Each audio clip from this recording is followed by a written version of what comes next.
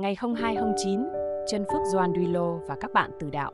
Trân Phước Doan Duilo là Tổng Giám mục giáo phận Arles, nước Pháp. Doan và các bạn từ đạo của Ngài được mừng kính hôm nay bởi vì các ngài đã anh dũng tử đạo trong suốt cuộc cách mạng Pháp. Sự kiện là người ta bị ép buộc phải tuyên thệ giữ bản hiến chương mùng 779 ngầm. Bản hiến chương này có nội dung chống lại giáo hội. Nếu ai không tuyên thệ thì sẽ bị tống ngục. Vào năm 1792, hình phạt được chuyển thành án tử hình. Có nhiều giám mục, linh mục, tu sĩ và giáo dân đã can đảm không ký vào bản tuyên thệ ủng hộ hiến luật mới này. Và các ngài biết rằng làm như thế thì sẽ bị xử trảm. Đức Thánh Cha Pio Sap đã ủng hộ các ngài và lên án bản hiến luật.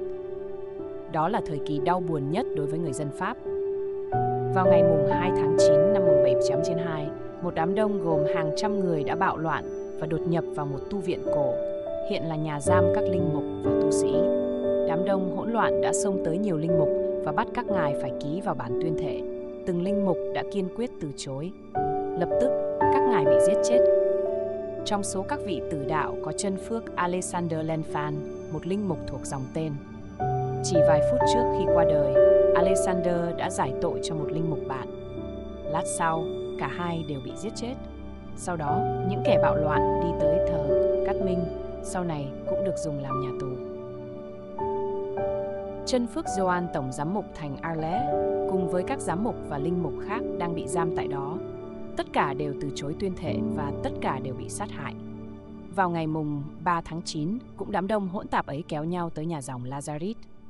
Nơi đây cũng bị biến thành nhà tù, gồm có 90 linh mục và các thầy dòng. Chỉ có 4 người thoát nạn được thôi. Tính tới lúc cuộc cách mạng kinh kinh khủng chấm dứt, đã có một 500 Kitô hữu bị giết hại. Nhiều vị là giám mục, linh mục và tu sĩ. Các vị tử đạo tháng 9 mà chúng ta mừng kính hôm nay có 191 vị. Các ngài được Đức Thánh Cha Pio Tinh phong chân phước năm 1926. Chúng ta hãy nài xin các vị tử đạo hôm nay giúp chúng ta hiểu biết và trân trọng ân huệ rất quý giá